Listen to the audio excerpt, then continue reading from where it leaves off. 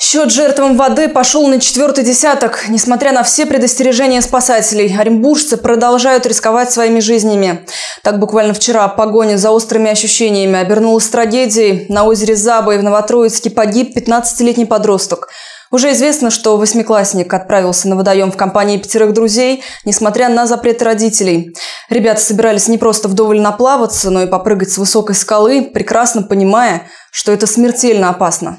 Как пояснили участники этого происшествия следователям, а, они пришли прыгать со скалы, с обрывистого берега. Высота этого скалы, откуда они прыгали, около 15 метров, для получения острых ощущений. Они прыгнули солдатиком. А, сам потерпевший упал на гладь воды э, грудью, ударившись, возможно, целиком подбородком, грудью и животом, не смог самостоятельно выбраться, приплыть на берег и утонул. В сводке происшествия, к сожалению, эта трагедия не единственная. За прошедшие сутки в водоемах области утонули еще пять человек.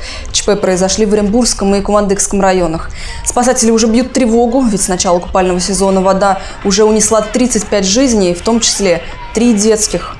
Основная причина погибших у нас – это купание в неорганизованных местах и э, купание в состоянии алкогольного опьянения. Значит, Среди погибших у нас, к сожалению, трое детей. И э, причина основная гибели детей, подростков – это бесконтрольность со стороны взрослых, беспечное и безответственное поведение. По мнению спасателей, больше половины трагедии могли бы избежать, будь в Оренбурге побольше организованных мест для купания. Ведь из 26 пляжей к открытию допустили лишь 16, однако в 30-градусную жару, и все остальные пользуются большим спросом у жителей области.